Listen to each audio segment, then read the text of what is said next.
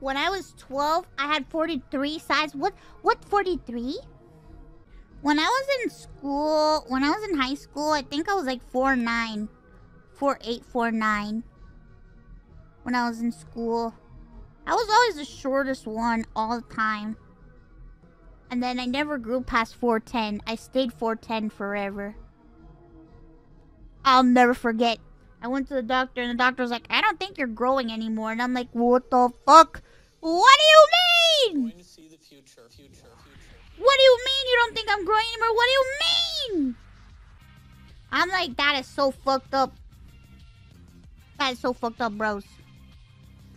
You couldn't hear me? Fuck you! F you!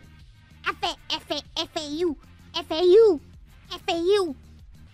Look at the bright side. You're easy to carry.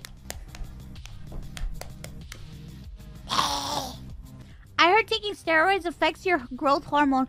Do you mean like steroids? Steroids, not anabolic steroids. You mean like prednisone and Solu-Medrol and shit? That's probably a, a, one of the reasons why.